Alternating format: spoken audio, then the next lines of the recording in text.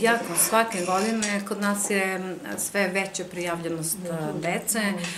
Deca domaćini dovode svoje goste ovde, pre svega decu, ali dolaze i bake i tete koji su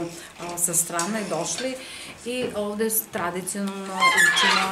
učimo školu imamo za tkanje čilina i za tkanje šalova. Na tradicionalnom razboju, na tom vertikalnom, deca uče tehniku tkanja pirskog čilima i to je njima jako zanimljivo. To je malo teža tehnika, ali vrlo zanimljiva i deca dosta ovde borave. Na ovom drugom razvoju trenutno radimo tu neke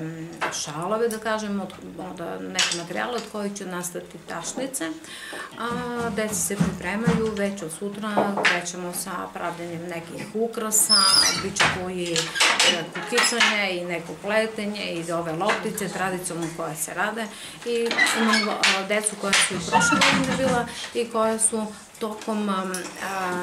godine vežbala, da tako kažem, ono što ovde naučeno je, onda primenjuju i evo čujem da su u školi pravile te neke loptice i to su prodavali, to se sve prodalo i tako su se radili neki budžet iz škole. Ovo je doba tehnike, industrije, jedno moderno, savremeno doba kada svi gledamo da se bavimo nekim digitalnim stvarima, ono što je lako, što se prstom radi, ali je svakako jako zanimljivo i, i treba da ostane ovo vekovno znanje i da se prenosi mladim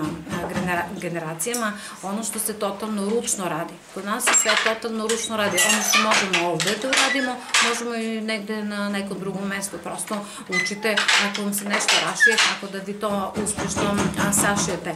Treba produžiti znanje, treba mlađu generaciju, ovako mladim dečacima, što vidite i ovako, i devojčicama,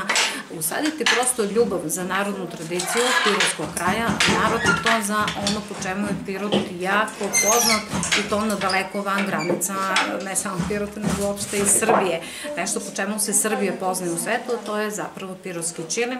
i bilo bi jako dobro da se oni učuvaju i ovo znanje i ovo je pravi način prenosa ljubavi prema narodnoj tradiciji. Ako deca imaju u sebi ljubavi, oni će uh, kasnije kroz život negde da to ispolije, ne mora da se bave tkanjem, sad to bez veze da čekamo da postaju tkači piroskog čilima, ali će svakako ovo znanje da preslikaju i prenesu u nekim oblastima kojima će se tokom života baviti, a inače ovde dolaze deca koje su jako kreativna, deca koja vole sport i sve, ali su se ovde kod nas javili da ove dve nedelje, da kažem deset dana, provedu samo u ovoj kačkoj radionici, dolaze ranije nego što treba, odlaze kasnije i vrlo su kreativne, prosto izmišljaju nove, nove neke šare, nove načine, metode. Ja sam oduševljena, znači to su ipak geni, nekako nasledđe, da oni tako vešto rukuju. Ne samo da su sposobni da, da taj njihov mozak jako dobro radi, nego imaju vešte ruke izuzetno vešte ruke i ja vidim da tako vešta ruka može samo u nasledđe da, da bude. Tačno vidim kad je dete recimo sa strane, to možda nije baš poznato kako ručice rade i to vidim neko pirosko dete koje ima neko nasledđe, a prvi put se sreće. To, to prosto sam od negde geni su to i